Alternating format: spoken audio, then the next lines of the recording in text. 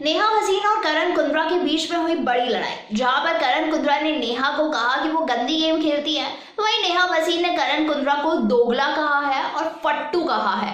आखिर क्या है पूरी खबर? चलिए मैं आपको देती हूँ इस वीडियो में। Hello and hi everyone this is Keshavi and welcome to our channel जी हाँ बिग बॉस के घर में जैसे कि गेस्ट आने वाले हैं तो एक टास्क होने वाला है। और इस टास्क के दौरान जो भी कंटेस्टेंट जिसको टारगेट करने वाला है, उसके ऊपर कीचड़ उछालने वाला है।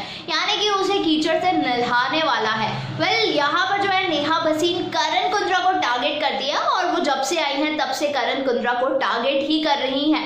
वेल यहाँ पर नेहा वसीम जो है कहती है करण को कि वो आ, उनकी ज़रूरत इस गेम में बिल्कुल भी नहीं है। पहली बात तो और दूसरी बात यह है कि वो बहुत ज़्यादा फट्टू है खुद के कोई ओपिनियंस नहीं है उनके। जहाँ उन्हें बोलना चाहिए वहाँ वो बोलते नहीं हैं। दोगले हैं और बाकी सारी चीज़ें जो है नेहा बसीन कहती हुई नज़र आती है करण कुंद्रा के बारे में और काफ़ी कुछ चीज़ें जो है कह देती है।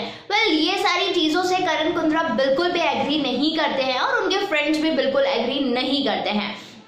यहाँ पर जैसे ही करण कुंद्रा पर वो कीचड़ उछालती हैं, फिर करण कुंद्रा की बारी बारी आती है तो करण भी नेहा को टारगेट करते हैं और कहते हैं कि वो बहुत गंदी गेम खेल रही हैं और उनके कोई ओपिनियंस नहीं होते, उनके कोई ज़्यादा फ्रेंड्स है नहीं और इन दोनों के बीच में एक घमासान लड़ाई देखने को मिलती है, जहाँ पर करण कुंद्रा काफ़ी ज़्यादा हाइपर हो जाता है तो वहीं नेहा भसीन भी काफ़ी ज़्यादा बहस करती हुई नज़र आती है। वेल इन दोनों की तो झगड़ा हो ही जाता है लेकिन जब बारी आती है तेजस्वी प्रकाश की तो तेजस्वी भी टारगेट करती है नेहा भसीन को और काफ़ी कुछ कहती है नेहा भसीन को और इन दोनों के बीच में भी लड़ाई हो जाती है।